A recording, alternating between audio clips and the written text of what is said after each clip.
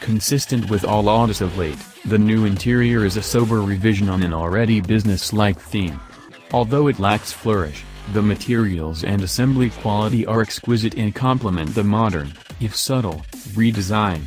But it's hard not to shake your head at some of its rich folk imagery. With a straight face, an Audi representative unveiled the optional foot warmer and massager for the right rear passenger that deploys from the front passenger seat back.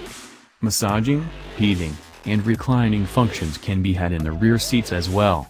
More important, it's utterly silent, so much so that it's hard to imagine there are actual explosions of fuel and air on the other side of the firewall.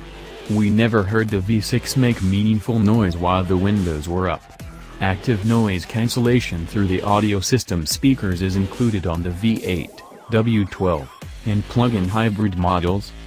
But it's up front, in the infotainment system, where the big changes have happened. Centered on the dash is a 10.1-inch haptic feedback touchscreen that acknowledges inputs with a pulse when tapped. Below that on the center stack is a second screen, which functions primarily to display that controls but can be used for other operations, including Google or navigation searches via handwriting recognition. The move to haptics eliminates most buttons as well as nearly every knob from the A8's cockpit, a lone volume knob remains.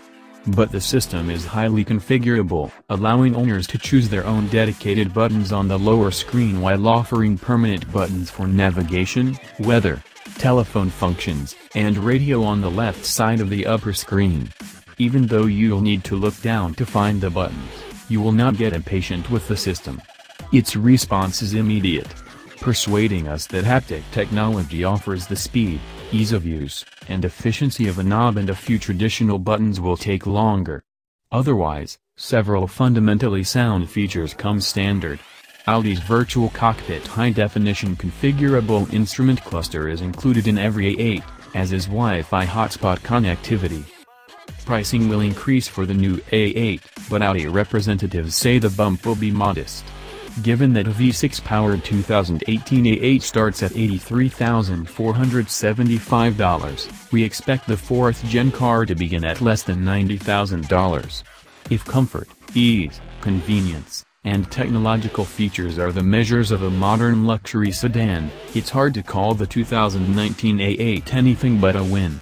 It's as silent, effortless, and serene an environment as can be had on four wheels few cars offer an escape from the chaos of modern driving as effectively as the 2019 A8, even when it's not driving itself.